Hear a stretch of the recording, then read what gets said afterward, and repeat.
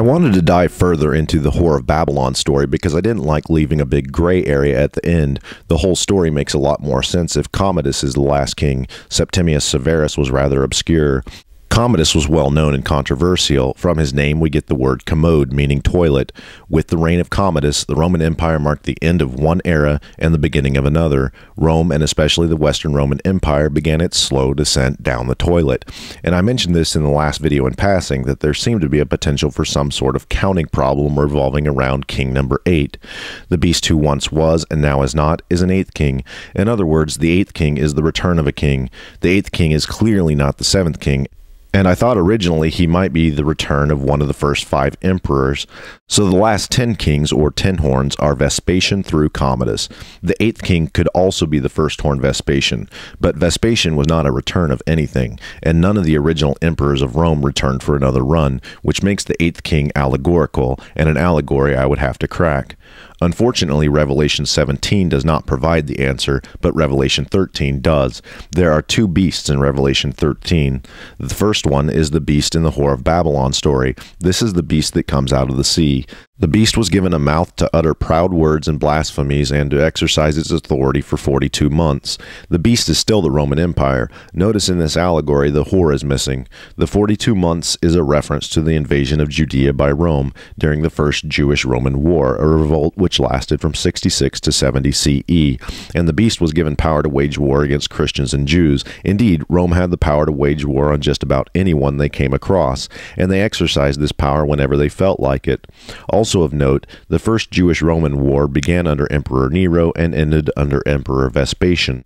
One of the heads of the beast seemed to have a fatal wound, but the fatal wound had been healed. How exactly does a fatal wound become healed? This is a reference to resurrection and the eighth king. The second beast in Revelations 13 is the one that comes out of the earth, and this is the allegory that describes the nature of the eighth king. Then I saw a second beast coming out of the earth. It had two horns like a lamb, but it spoke like a dragon. It exercised all the authority of the first beast on its behalf, and made the earth and its inhabitants worship the first beast whose fatal wound had been healed. While all the symbolism of the last half of Revelation 13 seems to point in one general direction, there are three allegories that I find interesting. First, the beast was healed from a fatal wound. In other words, a dead king has returned.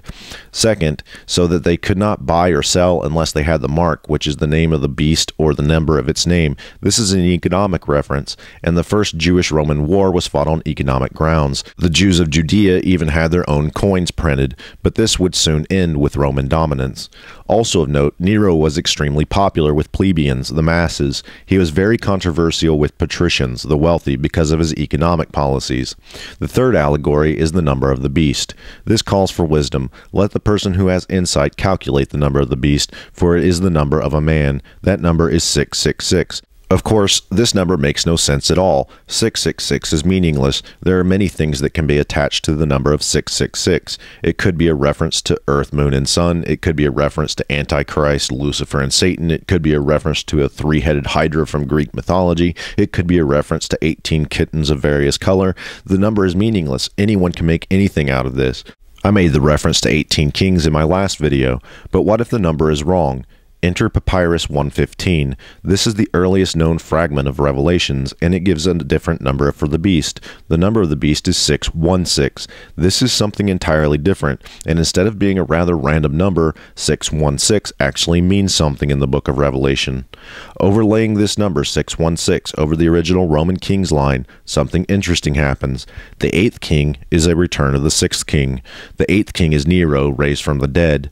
The one is a reference to the one year of chaos in between the reign of Nero and risen Nero. But Vespasian was not only himself, he was also Nero reincarnated. Nero and Vespasian are both the eighth king and the body of the beast. And for a short time during Vespasian's rule, it would appear that there was every reason for Christians and Jews to believe that nothing had changed. Vespasian had Jerusalem destroyed in 70 CE. Some believed Nero had burned Rome in 64 CE, and of course he had blamed it on Christians. Vespasian's rule had two natures in regards to Judea. The first was when he had Jerusalem burned to the ground, but after 73 CE, Vespasian's rule didn't have much to do with Judea. He went on to be a relatively normal Roman emperor once the revolts in Judea were crushed. And in iconography, the number 616 does something else very interesting. It is not only a mention of the resurrected Nero that destroyed Jerusalem in 70 CE, but it is also graphically represented by the second beast. Then I saw a second beast coming out of the earth. It had two horns like a lamb, but it spoke like a dragon. Notice anything? That is 616, the mark of the beast.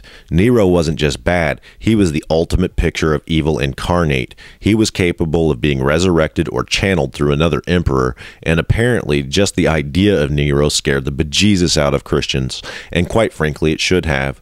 Nero was kind of a rough dude, especially on Christians. Nero committed suicide in 68 CE after being named an enemy of the state by the Roman Senate, and no one believed he died for good. Nero imposters popped up several times throughout Roman history, and people, for better or worse, were expecting Nero to return from the grave for the next couple centuries. But with the addition of Revelations 13, I believe that the problem of the king's list are finally solved. The final king, the tenth horn, is Commodus. The eighth king is an allegory to resurrected Nero. All the kings are real except the allegory of the eighth king. Though technically Vespasian is both the eighth king and the first horn, or first of the future kings, he has an entirely different character when claimed as the resurrected Nero. The eighth is by itself allegorical. The beast who once was and now is not is an eighth king. There were no zombie emperors, and Nero's return was purely figurative. But with the reign of resurrected Nero, the Roman kings list snaps into place perfectly, and the breakdown of the meaning of the seven headed, ten horned beast is complete.